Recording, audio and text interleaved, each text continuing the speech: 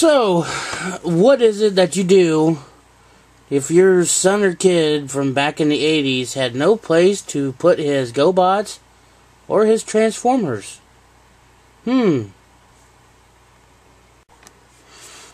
Well, you go out and buy him a collector's case, or, you know, be a, a good dad and build him some shelves, but, you know.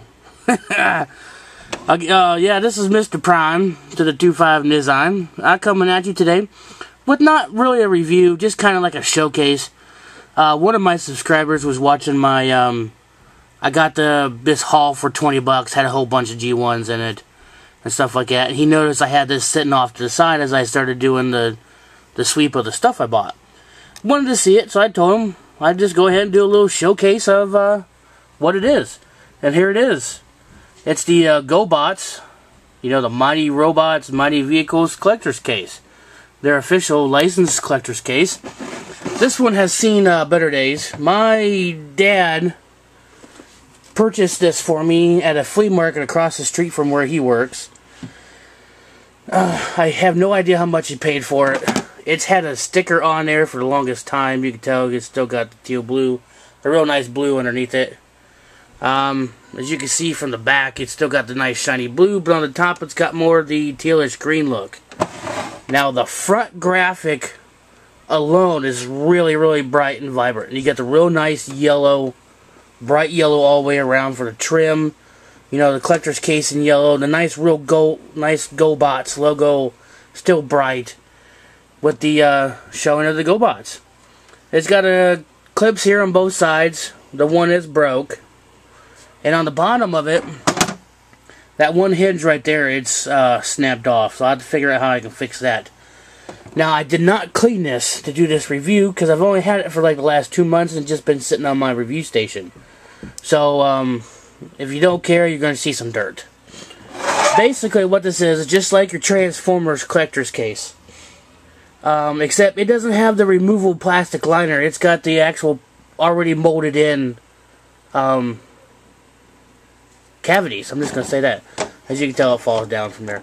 And if you open it up, again, I did not clean this yet for the this review because I hadn't had the chance to. As you can tell, it's still dirty. Um, and I also put in just a several toys that give you kind of like a, a look for what it's supposed to be. I got my couple GoBots. I did do a this is Spoon. I did do a review on him. This GoBot right here. I have no idea what his name is. Then I got you know the Micro Machine and Jolt from the RPMs line sitting up top. Now the top, as you can tell, it's almost just a little bit bigger than the size of a Hot Wheel or this uh, Micro Machine. The bottom it goes in just a little bit deeper to fit your lar more larger uh, GoBots. And the bottom is the the lar largest part of the pockets. It actually does go back in there. Uh, 16 total um, pockets for this thing.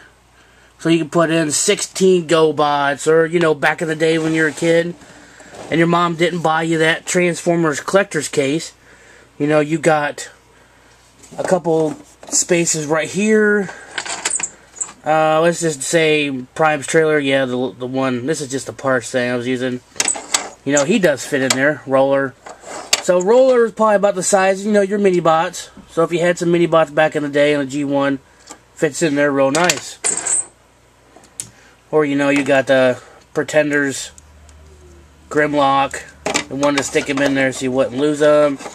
You know, you can kind of slide him in there, and he works pretty good. other than that, you know, this is basically what he what it is. You know, you can close it, snap it. Does come with this real nice little carrying case. As you can see, it's a real nice. Um, I'm just gonna say Thundercracker style blue. That's just my way of saying what color. I mean, that's what it looked like. Thundercracker blue. So yeah, just wanted to give you, you guys a little show. I told him I was going to give him a showcase on it to show him what it was. And um, hope you guys uh, enjoyed this. Uh, stay tuned for more Transformers reviews. Um, I will be reviewing these guys right here. I got my Raph, Don, Leo, Mike, couple foot soldiers, April, and movie ones, splinters. Furry. Ooh. But yeah, stay tuned for more Ninja Turtles and stuff like that. And uh, peace out, people. And later.